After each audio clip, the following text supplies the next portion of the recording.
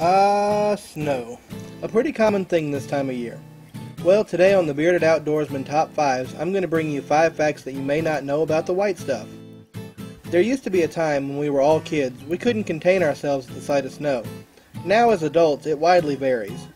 The thoughts of limited travel on the roads, the dangers of losing power, and not being able to get your bread and milk. Well, without further ado, here are the top 5 facts about snow. Number 5. Snow, like the ice particles it's made up of, is actually colorless. It's translucent, which means light does not pass through it easily, but is rather reflected. It's the light reflected off a snowflake surface that creates its white appearance. But why white? The reason we see objects as colors is because some wavelengths of light are absorbed while others are reflected. Remember, light is a spectrum of colors. The object takes on whatever color light is reflected, for example, the sky is blue because the blue wavelengths are reflected while the other colors are absorbed. Since snow is made up of so many tiny surfaces, the light that hits it is scattered in many directions and will actually bounce around from one surface to the next until it's reflected. This means no wavelength is absorbed or reflected with any consistency, so the white light bounces back as the color white. But in fact, it doesn't always appear white. Deep snow can often appear blue, this is because layers of snow can create a filter for the light, causing more red light to be absorbed than the blue light. The result is that deeper snow appears blue. Snow can also sometimes appear pink.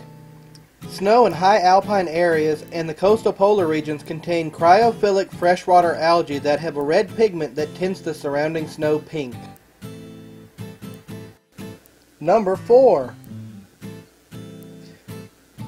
Igloos can be more than 100 degrees warmer inside than outside, and they're warmed entirely by body heat. Since fresh, compacted snow is approximately 90 to 95% trapped air, meaning it can't move and transfer heat, it's a great insulator.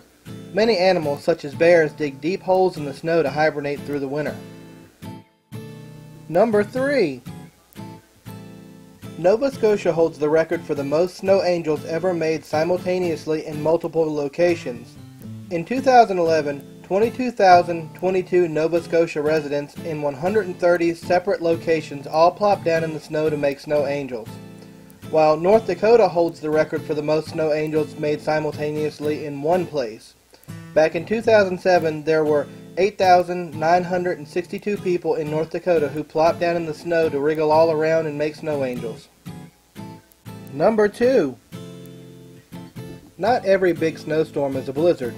In order to be classified as a blizzard, a snowstorm must meet a very specific set of qualifications. Winds must blow at least 35 miles per hour, and the snowfall must reduce visibility to less than a quarter of a mile for a period of at least three hours.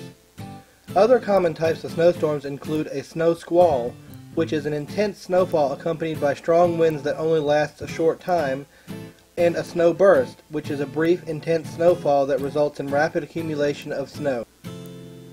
Number 1. Snowflakes aren't the only form of snow.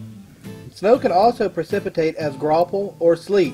Not to be confused with hail, graupel, or snow pellets are opaque ice particles that form in the atmosphere as ice crystals fall through freezing cloud droplets, meaning cloud particles that are colder than the freezing point of water but remain liquid.